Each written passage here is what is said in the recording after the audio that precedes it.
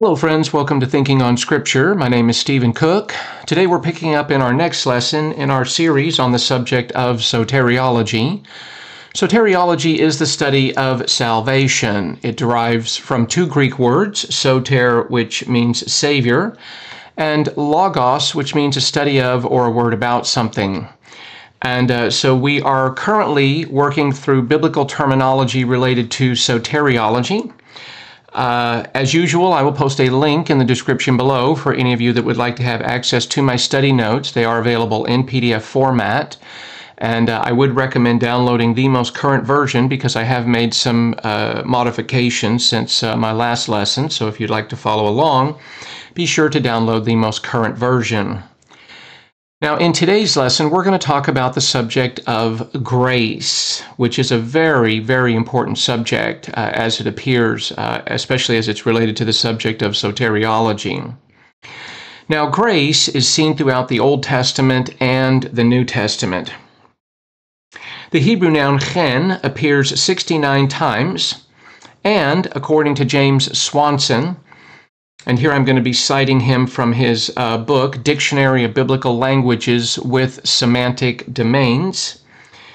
He says that chen means grace, kindness, kind heartedness, compassion, i.e., acts of kindness, which benefit the object of pleasure. Which benefit the object of pleasure. Uh, and so the word Chen, the noun, uh, is used of God, it's used of people, and sometimes refers to an attractive quality, such as one's speech. Now, when it's used of God, I think of Genesis 6 8, which says, But Noah found favor in the eyes of the Lord. Now, in the context here, God is pronouncing judgment upon the earth. In Genesis 6 5, it says, Then the Lord saw that the wickedness of man was great on the earth, and that every intent of the thoughts of his heart was only evil continually. And the Lord was sorry that he had made man on the earth, and he was grieved in his heart. And the Lord said, I will blot out man, whom I have created from the face of the land, from man to animals to creeping things and to birds of the sky, for I am sorry that I have made them. But verse 8 stands out. It says, But Noah found favor in the eyes of the Lord. He found favor in the eyes of the Lord. And uh, this within the context of judgment. Uh, I have a quote from uh, Dr. Arnold Fruchtenbaum. This is taken from his commentary on Genesis, uh, chapter 6, verse 8. He says, Nevertheless, Genesis 6 8 moves from a negative to a positive, from the judgment of God to the grace of God. He says the grace of God was present contemporaneously with the judgment of God. But Noah found favor in the eyes of Jehovah. He found grace in the eyes of God. Fruchtenbaum uh, closes out. He says, This was the way out of the devastation. This is grace in the context of judgment. He says, The word found shows grace is not won and it is not earned. Noah simply found grace in God, end quote. I thought that was pretty insightful because I think he's correct on that. So again, when we look at the use of the Hebrew noun chen, it is used of God. Uh, in fact, over in Exodus 33 17, it says, The Lord said to Moses, I will also do this thing of which you have spoken, for you have found favor in my sight. For you have found favor in my sight. So Again, it speaks of, it, it, it is referred to God uh, who uh, displays grace. It is also used of people, Genesis 34 11. It says, Shechem also said to her father and to her brothers, If I have found chen, favor, in your sight, then I will give you uh, whatever you say to me. Or you see it like over in Genesis 39, verses 3 and 4. It says, Now his master saw that the Lord was with him. This is going to be uh, Joseph, excuse me, when he was in, uh, in jail. Joseph, when he was in jail. It says, Now his master saw that the Lord was with him, and how the Lord caused all that he did to prosper in his hand. So Joseph found favor. And there's our word, chen, there's the use of the Hebrew noun there, It says that he found favor in his sight, that is, in the sight of this other person. And so, again, the word is used of God and it is used of people. And sometimes it refers to an attractive quality uh, that you see in a person, such as speech. For example, over in Psalm 45, verse 2, it says, You are fairer than the sons of men. Grace is poured upon your lips. Grace is poured upon your lips, with the idea that uh, what is said is attractive. Proverbs 22, 11 says, He who loves purity of heart and whose speech is gracious, the king is his friend. And there we see again the use of the Hebrew noun chen. Uh, so it refers here in these contexts to, uh, to an attractive quality, such as speech. We also find the Hebrew verb chanan, uh, which appears about 80 times and according to HALOT, which is the Hebrew and Aramaic lexicon of the Old Testament, it means merciful, kind, and gracious. Now, Hanan here uh, is translated gracious. You see it like in the name Yohanan, or we think of like John the Baptist, but John translates Yohanan. And when you see that Yo on the beginning of that, that is a reference to Jehovah or Yahweh. Uh, and you see that sometimes in names um, like Isaiah, the Yah there is for Yahweh, or um, uh, or sometimes you also see it like with El, because like El is a another uh, uh, name for God, Elohim, and so you see it like in Daniel, E L at the end, God is my judge, or Ezekiel, you know, you see it there as well. But Hanan appears like in the name Yochanan, which means Jehovah is gracious, or uh, Yahweh is gracious. Anyway, just a little aside there. Uh, but again, the Hebrew verb chanan appears about 80 times, and according to HALOT, means merciful, kind, gracious. Now, this characteristic is used both of God and people. So God is said to be gracious. Notice Ezekiel 34 6. Then the Lord passed by in front of him and proclaimed, The Lord, the Lord God, compassionate and gracious. And, uh, and there we see the use uh, here of Hanan. Um, we also see Psalm 86, verse 15, But you, O Lord, are God, merciful and gracious. Psalm 103, verse 8, The Lord is compassionate and gracious, slow to anger, and abounding in loving kindness. Uh, the word is also used with reference to people. It's used with reference to people. So, like in Psalm 23 7, the wicked borrows and does not pay, but the righteous is gracious and gives. Notice the righteous is gracious and gives. Uh, Psalm 112, verse 5 It is well with the man who is gracious and lends, he will maintain his cause in judgment. Now, the verb commonly refers to the favor that one person extends to another when it is not deserved or expected. I have a quote here by Merrill F. Unger, and this is taken uh, from the Vine's Complete Expository Dictionary of Old and New Testament Words. Uh, and Unger was uh, one of the chief editors for that. He says, uh, Hanan may express, generosity, may express generosity, a gift from the heart. God especially is the source of undeserved favor, and he is asked repeatedly for such gracious acts as only he can do. End quote.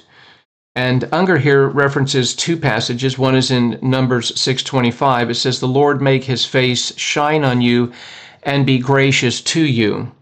And then over in Genesis 43:29, uh, where it says, "And he lifted his eyes and saw his brother Benjamin, his mother's son." This is Joseph speaking here. And he said, Is this your youngest brother of whom you said to me? And he said, May God be gracious to you, my son. So, uh, just some interesting passages there, but I'm just simply pointing out a few passages that demonstrate that uh, grace or graciousness uh, are qualities to be seen uh, primarily in God, which is important for us in the study of soteriology, but also with people.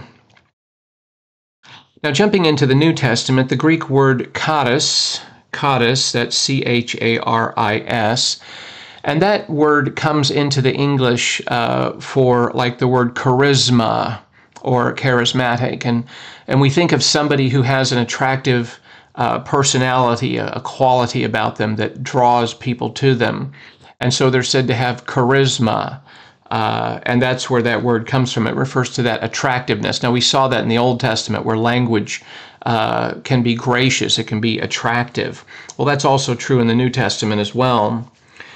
So the Greek word charis appears 155 times in the New Testament, and it is most commonly translated as grace or favor. I think of John 1:14, John 1:14, which says, "In the Word, that's the second member of the Trinity, God the Son. And the Word became flesh uh, and dwelt among us, that is, at the time of the incarnation when he added humanity to himself. And the Word became flesh and dwelt among us, and we saw his glory, glories of the only begotten from the Father, full of charis, full of grace and truth. And then over in Romans 4 4, uh, where it is translated as favor. It says, Now to the one who works, his wage is not credited as a favor, but as what is due. And so here it's translated as favor. Now the word is also used to express thanks. Now, what I'm doing here is I'm looking at various passages where the word appears in the New Testament, and context always determines the meaning of a word. Context always determines the meaning of a word.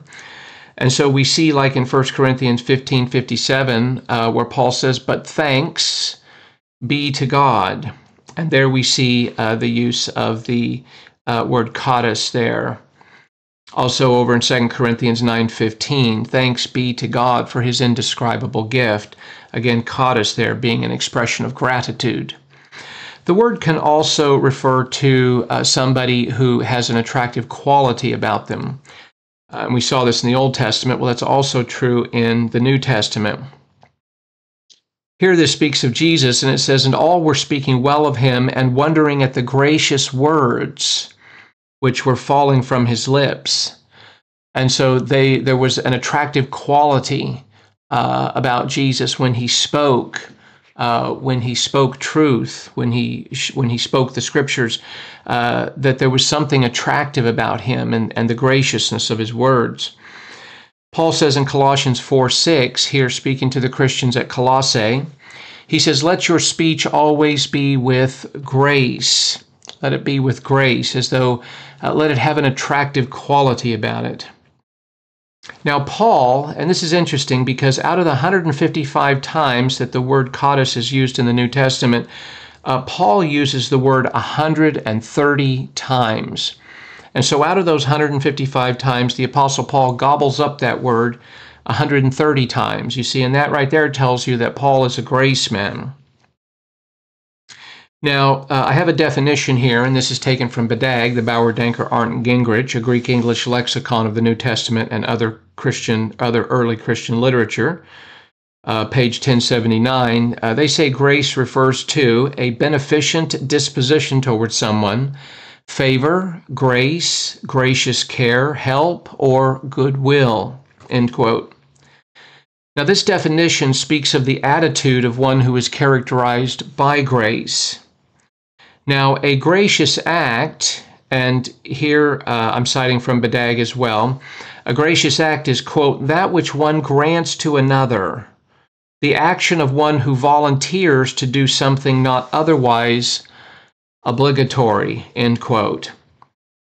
And that captures, I think, really the heart of it. Uh, let me read that again. That which one grants to another, the action of one who volunteers to do something not otherwise obligatory.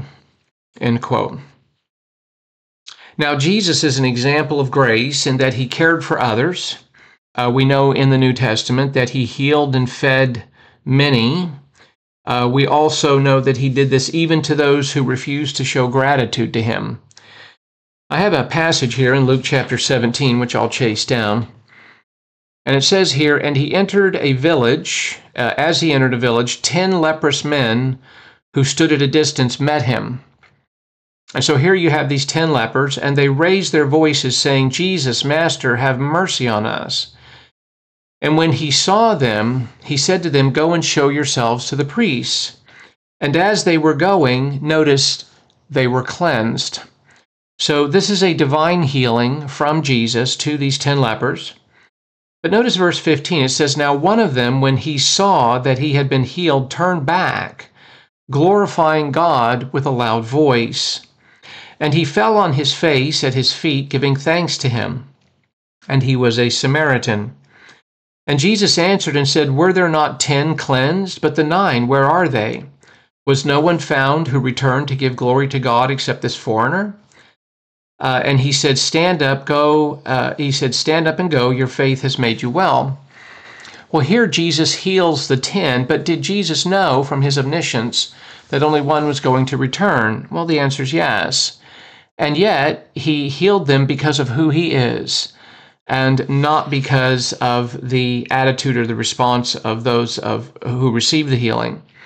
So again, Jesus is an example of grace in that he cared for others, healing and feeding many, even to those who refused to show gratitude. And he acted out of his own goodness for the benefit of others. With a full knowledge, the majority would reject him and abuse his kindness. In fact, there's two passages that stand out to me in the New Testament. One is in John 3:19, most particularly in the Gospel of John. It says, "This is the judgment that the light has come into the world, and men love the darkness rather than the light, for their deeds were evil." That uh, that here is this perfect display of light, of truth. Uh, in the person of Jesus Christ, who is the God man, the theanthropic person. And so, even though it says that the light has come into the world, it says men love the darkness rather than the light. And so, at the heart of every problem is really the problem of the heart. And for many people, they love the darkness rather than the light. Uh, but this did not stop Jesus from coming into the world and being the light. John 12 37 says, But though he had performed so many signs before them, yet they were not believing in him. But even though they did not believe in him, this did not stop Jesus from performing his signs. Now, others may not understand or accept what is offered by grace, but this is not for want of a gracious attitude or action on the part of the giver. Where the benefactor freely confers a blessing upon another, and the kindness shown find its source in the bounty and free heartedness of the giver. Now, let me say that again. Others may not understand or accept what is offered by grace. Uh, but again, uh, this lack of understanding, this is not for want of a gracious attitude uh, or action on the part of the giver, where the benefactor freely confers a blessing upon another, and the kindness shown finds its bounty uh, in the in, finds its source in the bounty and free heartedness of the giver. And so grace is really an expression of the person who is giving. It is in no way predicated upon the beauty or worth of the object, especially us as the recipients of God's grace. Because we were not attractive, we are not attractive, and we will not be attractive. But God loves us and God is gracious to us because of who He is and not because of who we are. Now, once grace is received by a person, once it is received by a person, it can in turn lead to gracious acts to others. It can. And in this way, grace leads to grace, because as one is the recipient of God's grace, uh, that can lead to a gracious attitude uh, towards others who don't deserve the kindness that is extended to them. And of course, the greatest expression of grace is observed in the love of God uh, in the love that God shows toward undeserving sinners for whom he sent his son to die in their place so that we might have eternal life. You see, and this is where grace comes into focus on the subject of soteriology because we do not earn uh, or deserve God's love towards us in any way. 1 John 3 1 says, See how great a love the Father has bestowed upon us that we, uh, that we would be called children of God, and such we are. And of course, John 3:16, for God so loved the world that he gave his only begotten son that whoever believes in him shall not perish but have eternal life. For God did not send the son into the world to judge the world, but that the world might be saved through him. And he who believes in him is not judged, but he who does not believe has been judged already, because he has not believed in the name of the only begotten Son of God. And so here we see where God's love is a reflection of who he is, and again is not predicated in any way on the beauty or worth of the object. Uh, Romans 5 8 says, But God demonstrates his own love toward us in that while we were yet sinners, Christ died for us while we were yet sinners. And here is a display of grace uh, in that we do not earn or deserve the love of God in any way. But again, this is born out of the bounty and goodness uh, of the giver, and again, is in no way predicated upon the beauty or worth of the object. Now, the reality is, is that everyone needs grace. Everyone needs grace. And this because we are all born in sin. We are all born in sin, and none of us can save ourselves, none of us can redeem ourselves from the slave market of sin to which we are all born. Biblically, we are said to be sinners in Adam. We are sinners by nature, that is, we have a proclivity to sin. And we are also sinners by choice.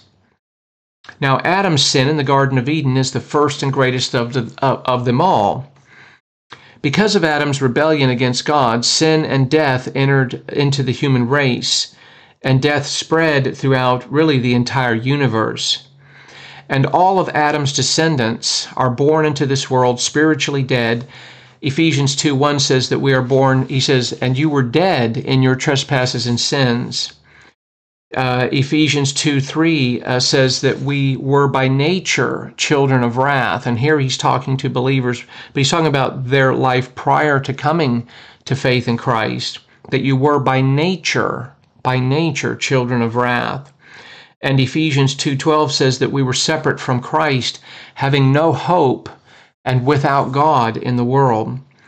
Colossians 1:21 says that we were alienated from God uh, Romans 5, 6 through 10, there's four words that pop in that uh, passage there where Paul says, For while we were still helpless, that's the first word, at the right time Christ died for the ungodly. Uh, notice that Christ did not die for the deserving, for the worthy, for the good, for the moral. Christ died for the ungodly. For one will hardly die for a righteous man, though perhaps for the good man someone would dare even to die. And so we can understand that on a human level, where he says one will hardly die for a righteous man, though perhaps for the good man uh, someone would dare even to die. One can understand dying in the place of, of a good person so that they can continue on in their goodness. But uh, that speaks of the human level. So you have the righteous and you have the good. And Paul elevates those two. But in verse 8 he says but god demonstrates his own love toward us in that while we were yet sinners we're not righteous we're not good uh, we're in the we're in the we're on the bottom rung we're in the bottom category and so god demonstrates his own love toward us in that while we were yet sinners christ died for us much more than having now been justified by his blood we shall be saved from the wrath of god through him for if while we were enemies we were reconciled to god through the death of his son much more, having been reconciled, we shall be saved by his life. So, again, these four words that appear there uh, just pop off the page that we are said to be helpless, we are said to be ungodly, we are said to be sinners, and we are said to be enemies of God.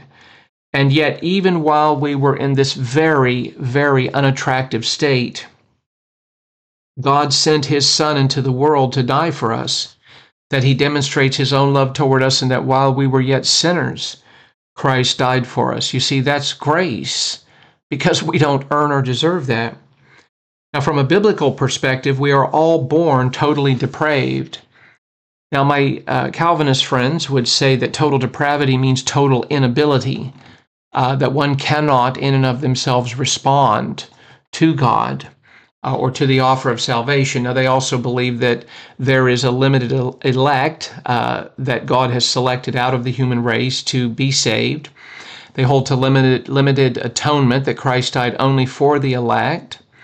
Uh, but they argue logically that God must regenerate a person, that is, make them spiritually alive, regenerate them, that God gives them a special kind of faith, a gift of faith, Uh, and then they can exercise that gift of faith to believe in Christ uh, because they believe that man is totally unable to respond to God in and of uh, himself or herself. Now, I find that not to be uh, accurate biblically because it puts the cart before the horse in the Ordo Salutis. It puts regeneration preceding faith. Uh, but this is according to the logic of their system, and they're just being consistent in their logic. The problem is, is that uh, the way that they define total depravity, I don't think has uh, good biblical support. Total depravity, uh, and I use the term total depravity, I think it's a fine term, but total depravity does not mean total inability. Uh, total depravity means that sin permeates every aspect of our being, our intellect, our will, our emotions. It, it, it impacts every part of us, and so it, uh, it extends to every part of who we are. I have a quote here from Dr. Lewis Sperry Chafer, and this is taken from his Systematic Theology, Volume 7, uh, page 118 and 19. He says, quote, Theolo- theologians employ also the phrase total depravity, which does not mean that there is nothing good in an unregenerate person as seen by himself or by other people. It means that there is nothing in fallen man which God can find pleasure in or accept. End quote. So again, here he says total depravity means uh, that there is nothing in fallen man which God can find pleasure in or accept. And that's correct because when we think about what the Bible has to say about mankind, it's it's not a pretty picture. Now, we are made in the image of God and we are fallen. We are fallen, that's true. We are trapped in Satan's slave market of sin and we are said to be helpless, uh, ungodly, sinners, and enemies of God. The scripture does not give a flattering view of us at all. So, in the sense of how the divine viewpoint estimation of humanity goes, uh, there's nothing in fallen man which God can find pleasure in or accept, and th- that's correct. So, total depravity means we are corrupted by sin and completely helpless to save ourselves. That is, good works, the production of our good works has no saving value. Now, we can come and we can, uh, when we hear the gospel, we can exercise our faith and believe in Christ and be saved. Now, God's grace uh, does not ignore righteousness or judgment. And here's where we kind of have to think in a very nuanced way. Uh, so God's grace does not ignore righteousness or judgment. God is righteous and he must condemn sin. Now, he can either condemn it in the sinner or in a substitute. But we should understand that God must deal with sin. I have a quote here from Unger, and this is taken from the New Unger's Bible Dictionary, uh, page 504. He says, quote, Since God is holy and righteous, and sin is a complete offense to him, his love or his mercy cannot operate in grace until there is provided a sufficient satisfaction for sin. This satisfaction makes possible the exercise of God's grace. End quote. In other words, because God has dealt with our sin, because he has righteously judged our sin, and he judged it in Christ. And this is where the cross becomes so beautiful because we cannot save ourselves. We cannot bring ourselves to God. We stand guilty before a righteous and a holy God.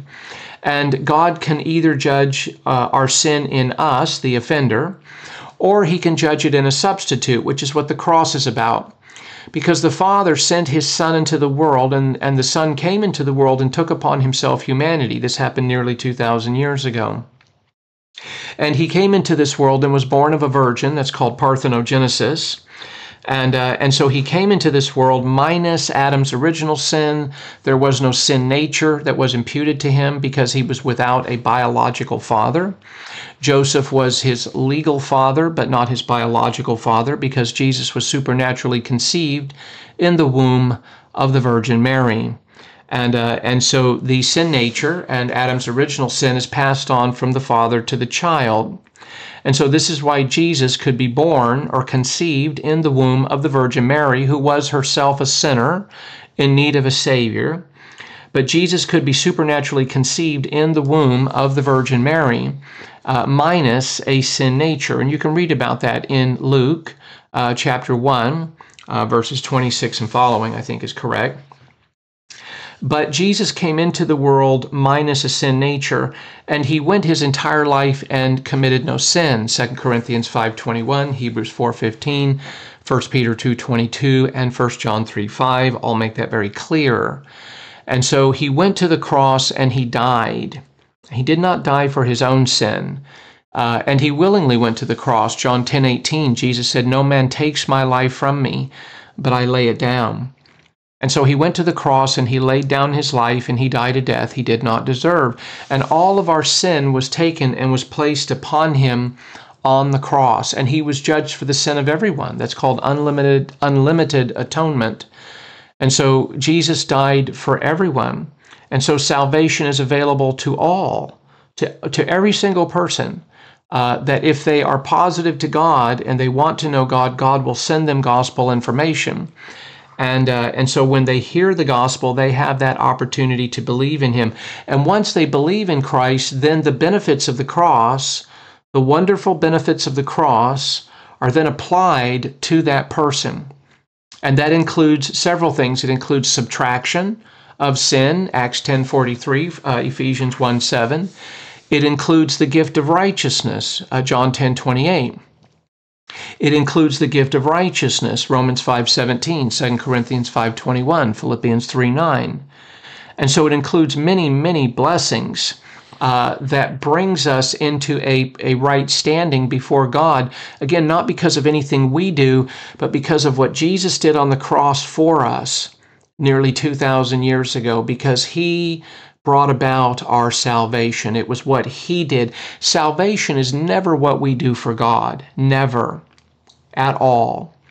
Salvation is what God has done for us through the work of Christ on the cross, who died in our place, who died a penal substitutionary death. Penal, He bore the penalty for our sins. Substitutionary, He died in our place 1 Peter 3:18 tells us that Christ also died for sins once for all, the just for the unjust, so that he might bring us to God, so that he might bring us to God because we cannot bring ourselves to God. And we are reconciled and brought to God through the blood of Christ, through the death of Christ, because we cannot save ourselves. And so it's what Christ accomplished for us, but at the moment of faith in Christ, the benefits of the cross are applied to us. Not only do we receive forgiveness of sins and the gift of eternal life and the gift of righteousness, but we also are transferred from Satan's domain of darkness into the kingdom of the beloved Son, Colossians 1.13. Uh, First uh, John 1.12 and Galatians 3.26 says that we become children of God. Uh, and so we are reconciled to God. Uh, Romans 5.1, that we have peace with God. We have peace with God, and that is a relational peace with God and this because of what Christ accomplished for us. Many, many wonderful blessings that we enjoy as Christians because of what Jesus accomplished on the cross. But all the benefits of the cross are applied to us at the moment we trust in Christ as our Savior, that we trust in Christ and Christ alone.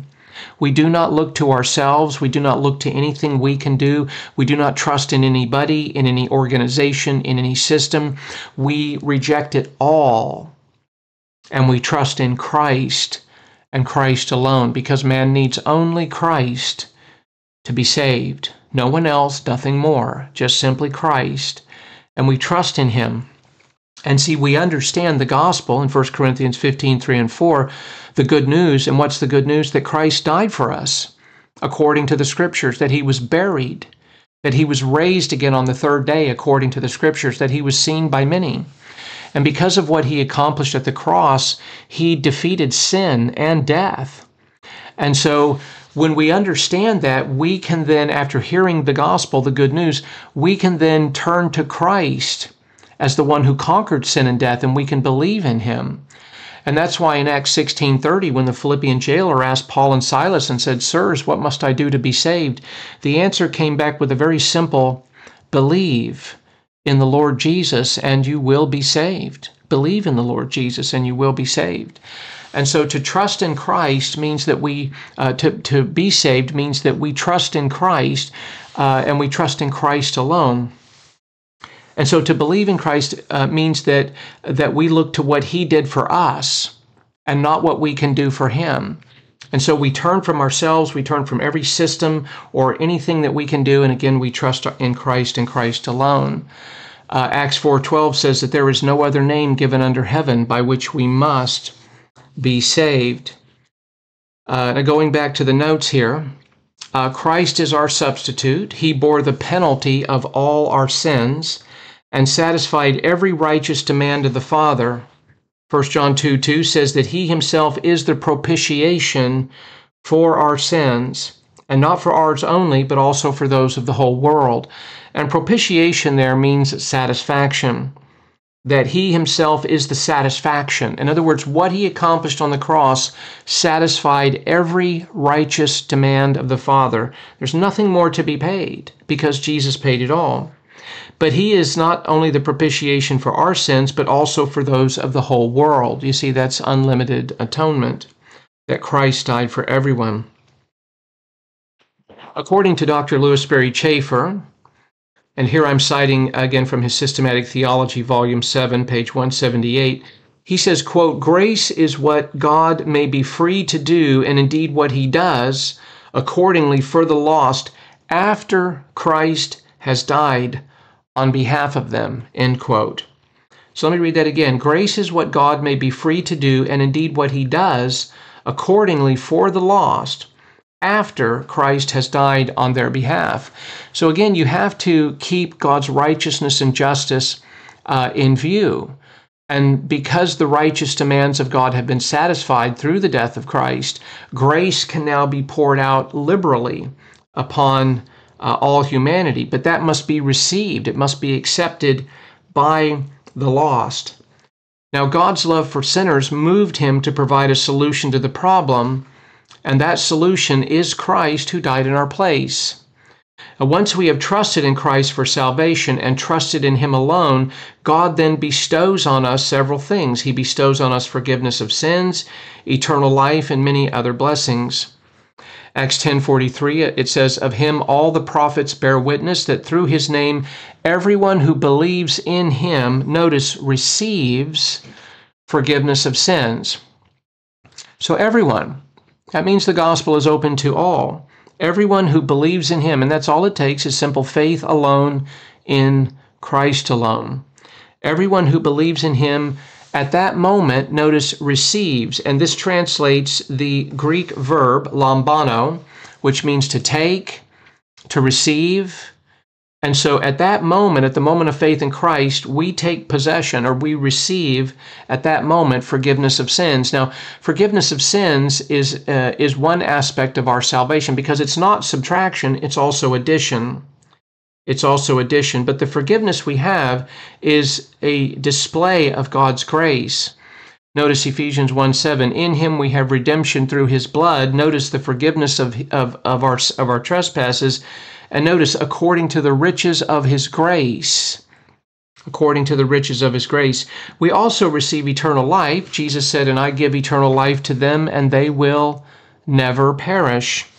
And we receive many other blessings. Ephesians 1 3 says, Blessed be the God and Father of our Lord Jesus Christ, who has blessed us with every spiritual blessing in the heavenly places, epiuranioi, in the heavenly places in Christ. And I will deal with that prepositional phrase in Christo in a future lesson. But nonetheless, He has blessed us with every spiritual blessing in the heavenly places in Christ. Uh, now, for those who reject God's salvation by grace, they are left to trust in themselves and their own good works to gain entrance into heaven, and this will fail miserably for those who elect this course. And you see, they, they elect their own course, they, they choose this course. In the end, these will be judged by their works, and because their works never measure up to God's perfect righteousness, they will be cast into the lake of fire forever. Uh, Revelation 20 says, Then I saw a great white throne and him who sat upon it. And by the way, the great white throne judgment is for unbelievers only. No believer will be at this judgment. We will already be in heaven. So he says, Then I saw a great white throne, and him who sat upon it, from whose presence earth and heaven fled away, and no place was found for them. And I saw the dead, the great and the small, standing before the throne, and books were opened, and, and another book was opened, which is the book of life. And the dead were judged from these things which were written in the books, notice, according to their deeds. So these are going to be judged according to their works. Now, here's the problem uh, good works do not save, they never have, and they never will. Only the work of Christ is what saves. Now, if you reject the work of Christ, uh, then you are left to try to gain entrance into heaven by your own works. Uh, but good works don't save.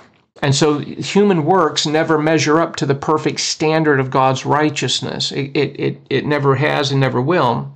But these nonetheless are judged according to their deeds. It says, And the sea gave up the dead which were in it, and death and Hades gave up the dead which were in them, and they were judged every one of them according to their deeds. Then death and Hades were thrown into the lake of fire. This is the second death, the lake of fire. Notice verse 15 If anyone's name was not found written in the book of life, he was thrown into the lake of fire. Now, this is all avoidable. The lake of fire is absolutely avoidable if one will simply turn to Christ for salvation and believe upon Him and trust Him to do what we cannot do for ourselves to save us. Because that's what salvation is. It's us trusting Christ to do for us what we cannot do for ourselves to save us. For if we could save ourselves, then Christ would have never had to have come and died. But His death is a testimony of the fact of this thing which we cannot do. The scripture is very clear For by grace you have been saved through faith, and that not of yourselves. It is the gift of God, not of works, lest any man should boast. Now, biblically, there is a common grace that God extends to everyone, whether they are good or evil. This is common grace, and you will find this taught in the Bible. God simply extends grace to all, and all receive it. Jesus said of the Father in Matthew, in Matthew uh, 5:45, uh, he says that he causes his sun to rise on the evil and the good, and he sends rain on the righteous and the unrighteous. And so here God is extending grace to all humanity, to all humanity, that he causes his sun to rise on the evil and the good. And he sends rain on the righteous and the unrighteous. Very interesting passage over in um, uh, Acts chapter 14, verses 16 and 17. Uh, the Apostle Paul says something similar here. It says, in the, in the generations gone by, he permitted all the nations to go their own ways. Let me pause for just a moment there. This speaks of the sovereign will of God to permit people uh, to a course of action, that He permitted all the nations to go their own ways. It says, And yet He did not leave Himself without a witness, in that He did good, notice, and gave you rains from heaven and fruitful seasons, satisfying your hearts with food and gladness. And so this is. Um, this is God's common grace to all humanity. Now, in these passages, God's grace is freely given to all, and this because He is gracious by nature. However, there is a special grace given to those who will welcome it. Now, special grace refers to those blessings that God freely confers upon those who, in humility, turn to Him in a time of need. The first uh, uh, form of special grace is saving grace. Uh, it's the saving grace that God provides for the lost sinner who turns to Christ in faith alone. Paul wrote in Ephesians 2 8 and 9, For by grace, charis, undeserved favor, unmerited kindness.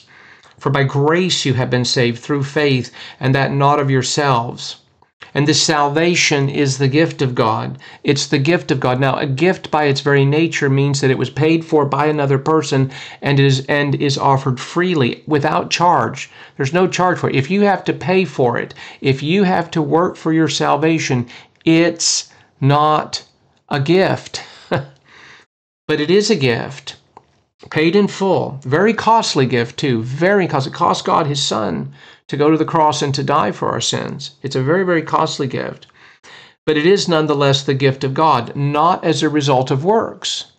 Not as a result of works. It's not as the result of works. Highlight that, underscore that, little asterisks around that, little arrows pointed to it. It's not as a result of works, so that no one may boast. So first, the, the first kind of special grace is the grace that God extends and gives to those who trust in Christ alone for salvation.